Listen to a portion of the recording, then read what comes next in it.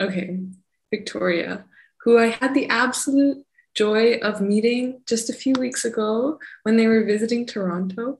Um, I'd heard of Victoria and their work for a couple of years. We'd run in adjacent communities in Toronto, Scarborough, Guelph, Ontario more generally, but it was towards the beginning of the pandemic that I really connected with your work um and it was this one it really like it was more generally i think we like followed each other but it was this one particular post that i chatted to you about the other day which was this song that victoria had written and recorded and uploaded to instagram and i think i listened to that 40 something second clip like a hundred times like number one fan of that song because it was I it was so special to feel so close to someone's voice and the sweetness of the lyrics and the chords and the way that it all came together to feel so excited and moved to find a poet so in touch with music and musicality as Victoria is, um, and how such deep musicality connects to feeling.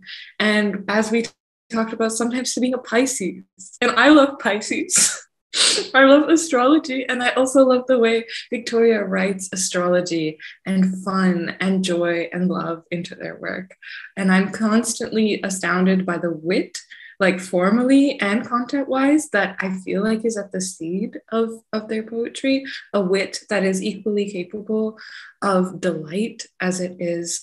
Um, as as it is other things and their poem Sunlight, published by Peach Mag, is one of my favorites. And it's the way like a playlist and a nomination and a camera in the morning, everything can coexist in Victoria's work, like a field of flowers visited by our eye, a perusing bumblebee under an embarrassing sun. Um, I hope Anchor can be deep asleep again, and I hope that we can steal feeling after feeling after feeling. Victoria. Thank you. That was really sweet. Uh, I'm a little overwhelmed. Um, yeah, thank you. Thank you so much for inviting me. And I'm really happy to be here today uh, to celebrate your book. I lent it to a friend right after reading it. I finished it in like two hours and I just really wanted everybody to read it. Um, but yeah, I'm going to start. I, I have five poems. Um, the first one is an astrology poem. So it's uh, about the fifth house. It's called Game Night at the Fifth House. Do you want me to put the poison in the wine I'm drinking or in the beer you'll drink later? Are you still mad at me? If an apple dies as a tree falls into an ocean, are you still staying the night? Do you want to leave me? I love party games. Mafia is my favorite. You are good at killing. Loving is better, familiar, and fatal. I am good at knowing the mood of a door when it closes, if the tap is crying when it doesn't shut all the way off. I am good at engulfing my space. The couch is capable of breathing, and it keeps breaking its legs. I can be good, I promise. I am great at becoming whatever you want me to be. Give me a second, give me time. Let me show you, I promise. I can walk back into that burning target and remember all the things you wanted from the store. No. um, sorry, there's people in my living room. Uh, Pisces, Pisces Venus retrograding. I love being upset. All I ever wanted was a Dyke Darcy looming in the rain with the knife hidden on the side of her thigh. I like how it's too sexy to arouse suspicion. I love and I love you from a girl who doesn't love easily, fully, not at all. The Aries in me makes me a competitor. I have them caving for me. Never met a fool like me before. Oh, how the stars have aligned for us. You're about to sink into me, but you're an Aquarius, carbon monoxide. I'll never feel you, kill me. And the Pisces Venus made me think I could save hell from hell. I do it dutifully. I teach you to breathe underwater using my breath. You'll have enough air to swim up to the shore, and I'll sink further, waiting to hear those voices in the back of my head. But not enough Virgo made the voices sing, Run, run, run, faint with no clear direction. This poem is called Stevie Nicks is Just Right About Everything. I need to stop crying at landslide. I am too black to be subverting white woman cliches. The car window is too dirty to cry against, and yet I continue to. If I'm going to be a girl boss, I have to try harder to sound less soft, when I tell him I don't want him, that it's all fine, and that I just want him happy.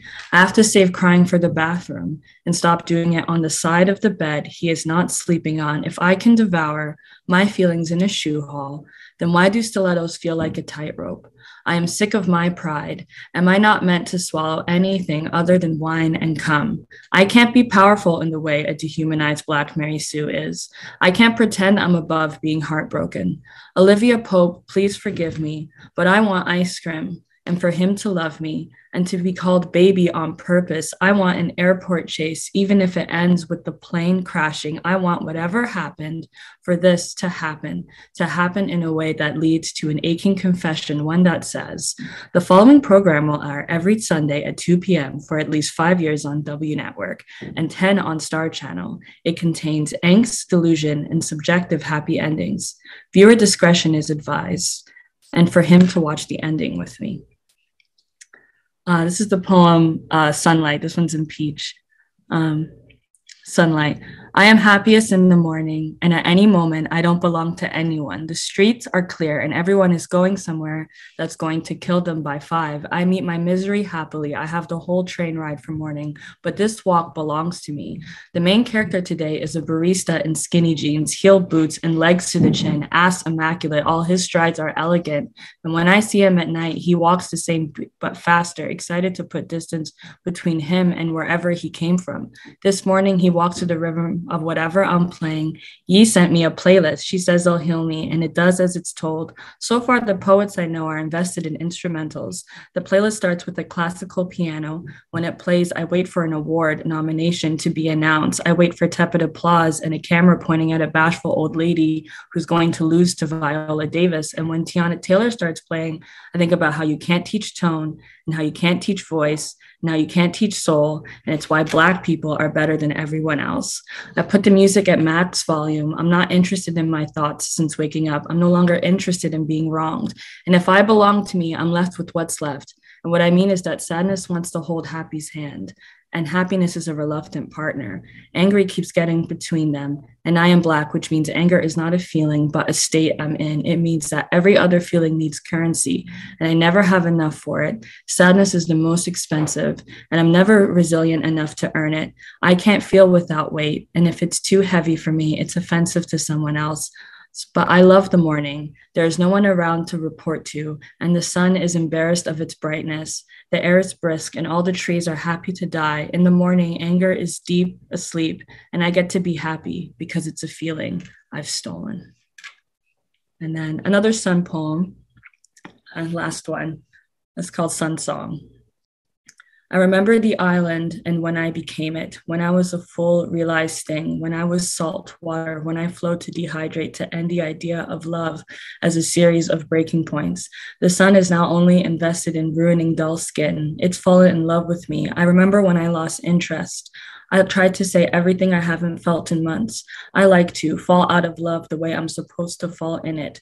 Grand proclamations. I like to leave screaming. I am bad at tense. When I told you I loved you, I should have said it like that. I should have said loved. And I want this to be about us. I want this feeling to belong to you.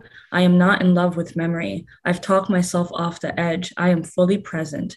There is no quicksand to sink into. You are long gone. The you isn't you here.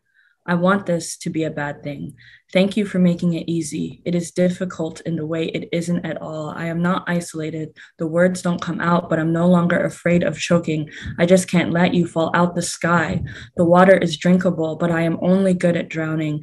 Yet the waves never catch me. My feet never leave the sand. This ocean is not as deep as it should be, but I can't get lost in anything. When I look up, there is nothing sinking me. I'm addicted to breathing. I can feel the sun warm on my skin, the sky splitting into sunset, and it never bleeds and it never breaks. I am never startled. I am not afraid of your absence. This is not a confession. When the sun leaves to give the moon space, I know I'll see you in the morning. This is not painful. The horizon melts over me, but it has to because it has to, because darkness is eventual and temporary. I can say what I mean because I mean it. I love you. I love you. I love. Thank you.